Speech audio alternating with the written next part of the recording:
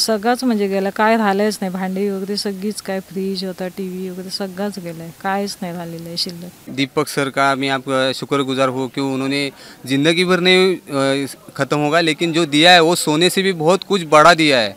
वो इसके लिए हम उनके आभारी हैं। सकाळी तीन वाजता घर पडलं पाणी भरल्यावरती. तीन चार वाजता. दोन बाईक होत्या आमच्या गाड्या, त्या पण गेल्या पाण्यातनं इन दोस्तों, इस वक्त मैं हूँ चिपलुन के मजरे काशी गाँव में और और अगर मेरे पीछे आप देखेंगे तो उधर पूरा एक मकान था। और वो पूरा मकान जो है, पूरा उड़ गया है, पूरा ध्वस्त हो गया है। ये मेकिंग द डिफरेंस की टीम यहाँ पे पहुँची है और यहाँ तक मदद करने के लिए। अब उस घर में मेकिंग द डिफरेंस की टीम जो है राशन पहुँचा रही है। दोस्तों, ये जो है ना, रोंगटे खड़े कर देने वाला आदमी तिनका तिनका जोड़ करके अपना घर बनाता है। और ये देखिए, ये पूरा घर बारिश में तबाह हो गया, बाढ़ में तबाह हो गया। ये ये सिर्फ़ फ्लोर दिख रहा है। ये आप देख सकते हैं, ये सब सिर्फ़ फ्लोर दिख रहा है। ये पूरा घर था इनका, मकान था पूरा। एक मकान बोलते हैं ना, जिसको वो मकान था। और इन पे कितनी बड़ी आपदा आई है कि ये जो तार पतड़ी एक डाल करके जो है इसमें ये लोग रहने को मजबूर हैं। सर ये मजबूरी का अभी इसको बयान नहीं कर सकते ये काफ़ी इमोशनल चीज़ है। अब जितनी मदद हमसे हो पा रही है हम कर रहे हैं उनके। दोस्तों मैं इतना ही कहूँगा कि इस जो जो चिपलुन में है ये एक ऐसा इकलौता घर नहीं है ऐसे कई जगह पे जो है यहाँ पे कई घर तबाह हो गए हैं। अब इनके मुँह से आवाज़ तक नहीं निकल रही है क्या निकलेगा? दिखाने का मकसद यही है कि यहाँ की सरकार से भी मैं अपील करूँगा, यहाँ के सक्षम लोगों से भी मैं अपील करूँगा और मेकिंग द डिफरेंस के दीपक विश्वकर्मा जी से भी करूँगा कि इनके घर को फिर से बसाने में जो मदद आप लोग कर सकते हैं वो कीजिए। आम लोगों से भी ये कहूँगा कि अगर आप लोग भी चिपलुन गाँव में इस तरह के घर जो पूरी तरह से उजड़ गए हैं, अगर उसकी आप कुछ मदद कर सकते हैं तो ज़रूर करें। मेरे रोंगटे खड़े हो गए। ये अगर मैं लेफ़्ट साइड दिखाऊँ और ये इधर दिखाऊँ तो ये सब में पूरा कितना पानी आ गया था, एकदम पूरा बारह फीट पानी था। आप ये देखिए, ये जगह में बारह फीट पानी बोलो तो किसको बोलते हैं? अगर बारह फीट पानी आया तो आप समझिए कि एकदम ये जो है ना, नदी बन गया होगा, बोट से लोग जा रहे होंगे, वो मंजर आपने देखा भी होगा। और आज ये उजड़ा हुआ घर मुझे देख करके बहुत दुख हो रहा है, ये देखिए। हर तरह हर चीज़ था इस घर में, हर चीज़ था। और आज कुछ भी नहीं है।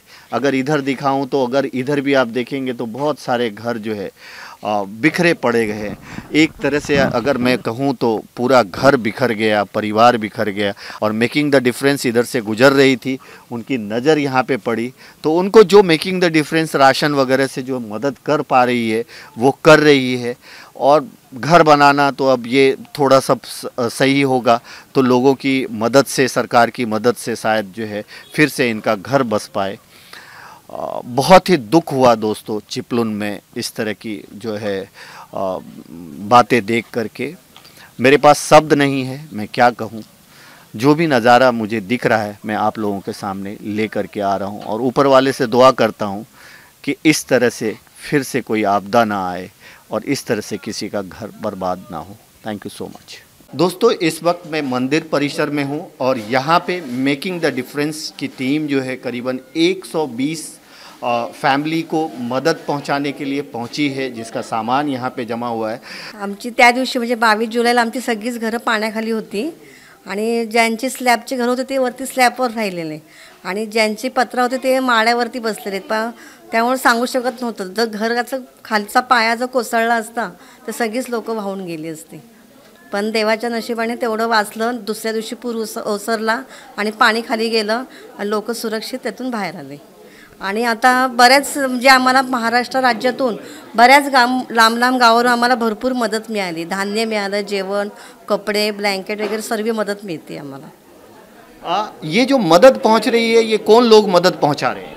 ह्या जास्त आम्हाला ज्या संस्था आहेत त्या संस्थेकडून आम्हाला जास्त मदत मिळते. म्हणजे शासनापेक्षा जास्त संस्थांनीच आम्हाला मदत भरपूर मिळाली. देखिए जैसा इन्होंने कहा एक बहुत इम्पोर्टेंट बात ये कहा कि जो बाढ़ आया जो आपदा आया उससे लोग सुरक्षित किसी न किसी तरह से निकले और इसमें जो मदद पहुँच रही है वो संस्थाएँ पहुँचा रही है मदद।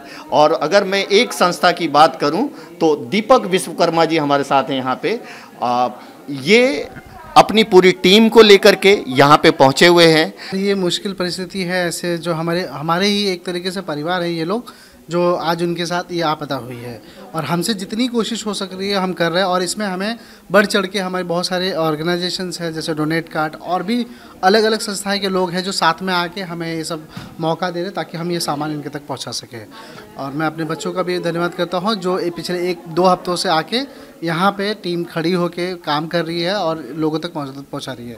और ऐसे चिन्हित कर रही है जो जो लोग परिवार में जो जो जिनकी तकलीफ़ें हैं, उन लोगों को ही हम सामान पहुँचाने में कोशिश कर रहे हैं। दोस्तों, जैसा कि आपने कोविड के दौरान भी देखा होगा कि कोविड जब महामारी अभी तो ख़त्म भी नहीं हुई है, उसमें भी दीपक विश्वकर्मा जैसी जो संस्थाएँ हैं, जैसे मेकिंग द डिफरेंस की संस्थाएँ ऐसी कई संस्थाओं ने बढ़ चढ़ करके लोगों की मदद की। यानी समाज में रहने वाले सक्षम लोगों ने ही एक दूसरे की मदद की है और एक दूसरे की मदद से ही जो है लोग को राहत मिल पा रही है। उसी तरह से बाढ़ की जो आपदा आई, उसमें भी समाज में, सरकार से ज़्यादा, मैं ये कहूँगा वापस कि। अभी इन्होंने भी कहा कि सरकार से ज़्यादा अगर कोई मदद कर पा रहा है तो छोटी छोटी बड़ी बड़ी संस्थाएँ इंडिविजुअल लोग मदद कर रहे हैं, जिसकी वजह से लोगों को राहत पहुँच रही है। जैसा कि आपको ये देखने को मिल रहा है कि आप सोचिए किस तरह से घर उजड़ गया है कि लोगों के पास चूल्हा भी नहीं है तो इन्होंने स्टोव लाया है, इन्होंने कपड़े लाए हैं, इन्होंने प्लेट लाया है, ग्लास लाया है, ये सब कुछ ला करके यहाँ पर दिया है, राशन लाया है, कपड़े लाया चादर लाया है, क्योंकि लोगों को जो है, अभी तो लोगों के पास कुछ भी नहीं है, जिनका सब कुछ उजड़ गया है, उनके लिए ये बहुत कीमती है। और ऐसे में ऐसी संस्था ने आकर के मदद की है। इसका तहे दिल से मैं भी शुक्रिया अदा करता हूँ। Thank you so much